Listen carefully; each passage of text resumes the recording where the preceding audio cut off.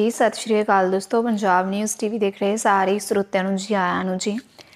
ਕਿਸਾਨ ਅੰਦੋਲਨ ਤੋਂ ਅੱਜ ਘਰ ਵਾਪਸੀ ਦੇ ਕਿਸਾਨਾਂ ਲਈ ਪੰਜਾਬ ਸਰਕਾਰ ਨੇ ਕਰਤਾ ਵੱਡਾ ਐਲਾਨ, ਤਾਜ਼ਾ ਵੱਡੀ ਖਬਰ। ਖਬਰ ਨੂੰ ਸ਼ੁਰੂ ਕਰਨ ਤੋਂ ਪਹਿਲਾਂ ਜਿਨ੍ਹਾਂ ਨੇ ਚੈਨਲ ਨੂੰ ਸਬਸਕ੍ਰਾਈਬ ਨਹੀਂ ਕੀਤਾ ਸਬਸਕ੍ਰਾਈਬ ਕਰ ਲੈਣ ਤੇ ਵੀਡੀਓ ਨੂੰ ਅੱਤ ਲਾਈਕ ਐਂਡ ਸ਼ੇਅਰ ਵੀ ਕਰ ਦੇਣਾ।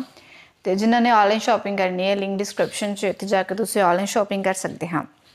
ਪਿਛਲੇ 1 ਸਾਲ ਤੋਂ ਕਿਸਾਨ ਦਿੱਲੀ ਦੇ ਬਾਰਡਰਾਂ ਦੇ ਖੇਤੀ ਕਾਨੂੰਨ ਰੱਦ ਕਰਨ ਲਈ ਲਗਾਤਾਰ ਸੰਘਰਸ਼ ਲੜ ਰਹੇ ਸੀ। ਕਿਸਾਨਾਂ ਦੇ ਇਸ ਸੰਘਰਸ਼ ਦਾ ਮੁੱਲ ਪਿਆ ਤੇ ਕੇਂਦਰ ਸਰਕਾਰ ਵੱਲੋਂ ਤਿੰਨ ਖੇਤੀ ਕਾਨੂੰਨਾਂ ਨੂੰ ਰੱਦ ਕਰ ਦਿੱਤਾ ਗਿਆ, ਜਿਸ ਨਾਲ ਕਿਸਾਨਾਂ ਦੀ ਜਿੱਤ ਹੋਈ। ਇਸ ਦੌਰਾਨ ਹੁਣ ਕਿਸਾਨ ਅੰਦੋਲਨ ਨੂੰ ਖਤਮ ਕਰਨ ਦੇ ਲਈ ਨਾਲ ਹੀ ਘਰ ਵਾਪਸੀ 11 ਤੇ 12 ਦਸੰਬਰ ਦੀ ਤਰੀਕਾਂ ਨੂੰ ਤੈਅ ਕਰ ਦਿੱਤੀਆਂ ਸੀ। ਦਿੱਲੀ ਦੇ ਸਰਹੰਦਾਂ ਤੋਂ ਪਰਤੇ ਕਿਸਾਨਾਂ ਦਾ ਪੰਜਾਬ ਸਰਕਾਰ ਸਵਾਗਤ ਕਰੇਗੀ।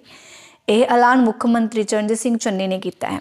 ਚਰਨਜੀਤ ਸਿੰਘ ਚੰਨੀ ਨੇ ਕਿਸਾਨਾਂ, ਮਜ਼ਦੂਰਾਂ ਤੇ ਯੂਨਾਈਟਿਡ ਕਿਸਾਨ ਮੋਰਚੇ ਨੂੰ ਵਧਾਈ ਦਿੰਦੇ ਹੋਏ ਕਿਹਾ ਹੈ ਕਿ ਇਹ ਕੇਂਦਰ ਸਰਕਾਰ ਵਿਰੁੱਧ ਕਿਸਾਨਾਂ ਦੀ ਜਿੱਤ ਹੈ। ਸੂਬਾ ਸਰਕਾਰ ਆਪਣੀ ਮਿੱਟੀ ਦੇ ਪੁੱਤਾਂ ਦਾ ਸਵਾਗਤ ਕਰੇਗੀ।